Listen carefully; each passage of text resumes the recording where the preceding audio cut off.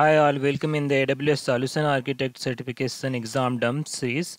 So basically uh, today in this sessions uh, uh, I'm with a new question related to that security group and the NACL. So this is the most frequent question and most confusing questions and I'm just describing more in detail that what is the difference between security group and uh, network ACL. So let's jump on the uh, question. So question says like a solution architect designing a three-tier web application. The architect want to restrict access to the database tier to accept traffic from the application servers only. So just I will mark the hint. So hint is saying that we need to provide the access for application server only. However, these application server are in the auto scaling. So yeah, this is also one hint that auto scaling and uh, may vary in the quantity so whenever we are talking about that may vary in the quantity so basically the private ip address uh, may, um, will change uh, for the new instance which is which has been launched. And uh, the it is an auto scaling so we are assuming like that the security groups will be remain same when we are launching the new instances. Uh, how should the architect configure the database servers to meet the requirements? So the i'm just jumping on the answers. Before that just i want to try try to say like that the problem is that we are having a three tier application web application and uh, the application tier and the database.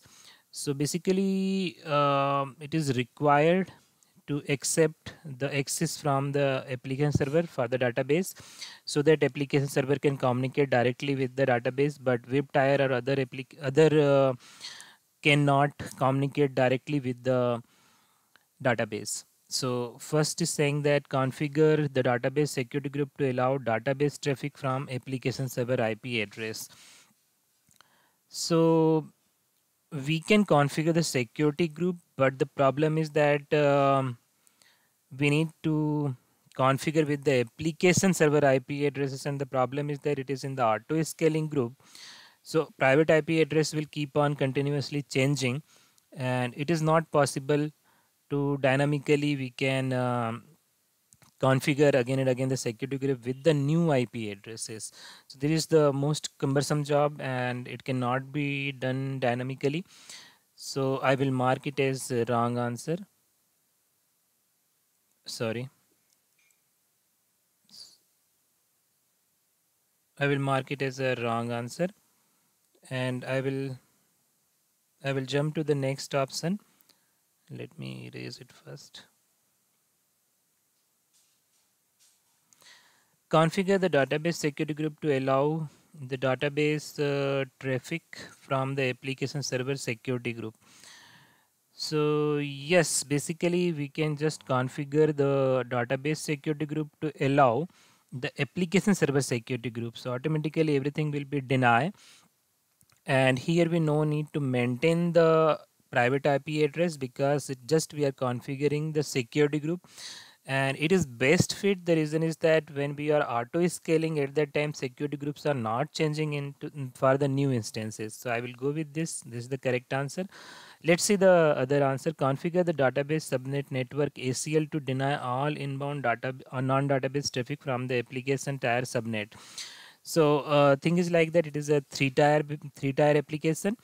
And NACL is stateless, it is not like security group. So it can allow or deny only, but it cannot remember that reply and um, the communication, sync communication with the uh, outer interface.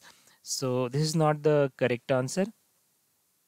And uh, the D is also based on that network ACL to allow the inbound traffic from the application tier subnet.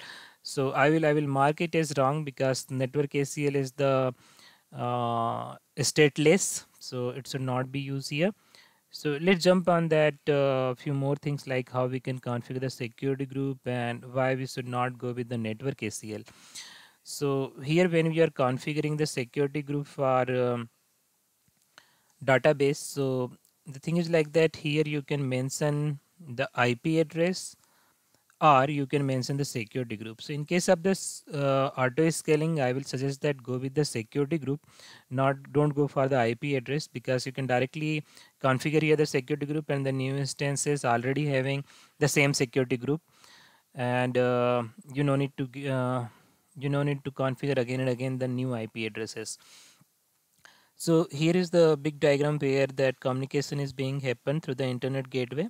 So I have just taken in the two tier to make it more simple. And um, here the web application is trying to communicate with the RDS and security uh, group uh, of um, uh, web application need to be configured here just like the above diagram. So what is the difference between the stateful versus stateless? So security group are stateful. It means that this uh, any changes applied to an incoming rule will be dynamically will be automatically applied to the outgoing rule. Example, Gracia, if you allow an incoming port 80, the outgoing port 80 will be automatically opened. So here you no need to do the additional task.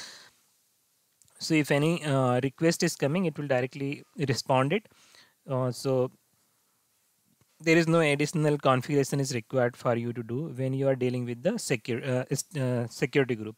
But in case of uh, network ACL it will just say like that which uh, which uh, IP addresses I need to allow it. So incoming will be applied but outgoing rule will not be applied in the same time. So if you are changing something for 80 if you want to allow the incoming port 80 then you must have to apply the rule for the outgoing traffic. But in security group it is not like that. You just doing the one configuration. It will be dynamically update for the outgoing as well.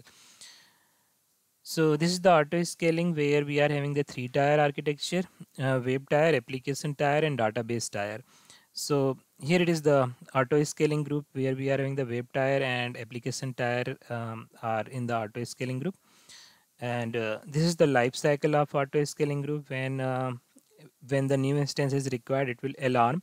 And the as per scaling policies. It will uh, attach a new instance uh, to the application um, application auto scaling group. And here in the one more diagram you can see like that we are having the uh, multiple subnet subnet 1 subnet 2 so for an example if subnet 1 and subnet 2 having application uh, servers are running and uh, they are separated because of uh, might be microservice concept or there could be different reason that this is the different application but wants to communicate with the same database then these two security groups we can update into the database uh, uh, database security group. And even in this uh, subnet 2 you can see there are the two security groups are involved. So these two security group can be configured as per this diagram to allow the inbound and outbound. So that's all from my side. Thank you. If you are having any question, please update in the comment.